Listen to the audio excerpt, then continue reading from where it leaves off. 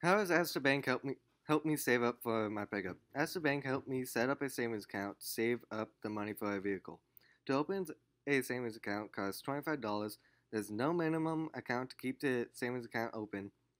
During the summer, I detasseled, and each week when I got paid, I went to Astor, Astor Bank in Shickley and put most of the money in my savings account and cashed about $60.